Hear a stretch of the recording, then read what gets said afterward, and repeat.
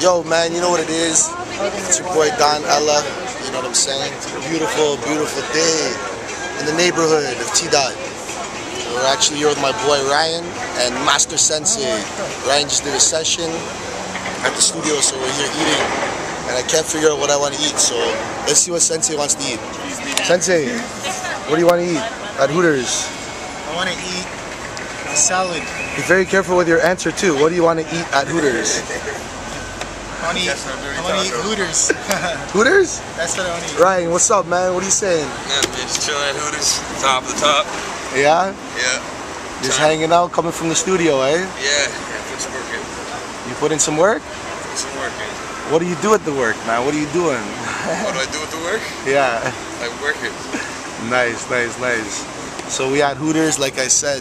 Um, I think I'm gonna go with a, a burger or my usual smothered chicken. I love the smothered chicken. You know what I'm saying? Like, you know, I don't know how to how to say this, but that shit is proper. You know what I mean? Sensei, what'd you get?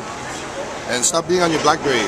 Sensei's always on his BlackBerry, man. Not always. Not always. You better always be on your BlackBerry. Yo, if you ain't on your BlackBerry in this shit, in this game, you ain't nobody. You understand what I'm saying? No, I'm just joking. Look who, look who, look who just arrived. Look who just arrived. My pulente. Fito Blanko. So what time? Like I don't know. He said he's gonna be there around 3:30. Fito, say what up to the peoples, man. No, not Manson. Right. So Ryan, yo, this is the first look you getting at Ryan. You know what I'm saying? He's putting in that work at Crown Loyalty Studios. You know what I mean? So Who's gonna be your this is what we do.